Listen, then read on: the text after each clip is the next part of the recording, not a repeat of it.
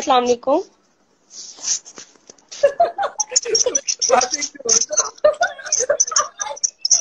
यार ये लड़की को राज़ी कर पाता है। ये मेरे पे गया इधर। सामने आओ। बोल काली लड़की अली भाई आप सामने आ रहे आप अपना कैमरा थोड़ा साफ़ करे वो डर रहा है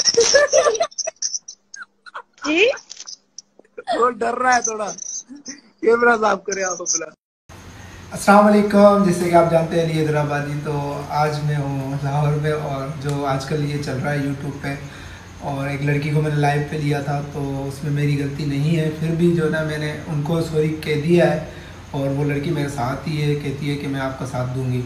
तो आप लोग जो है इंस्टाग्राम पे मुझे गलत गलत कमेंट्स कर रहे हो, और किसी चीज़, गलत चीज़ों में मुझे मेंशन कर रहे हो तो मैं तो आप लोगों को हंसाने के लिए आता था। तो आप लोग मुझे इतना बुरा बोल, भला बुरा बोल रहे हो तो मुझे बहुत तकलीफ़ हो रही है। इस तरह मैं अपना घर वगैरह छोड़ के इधर जो है ना अपनी मेहनत करने में लगा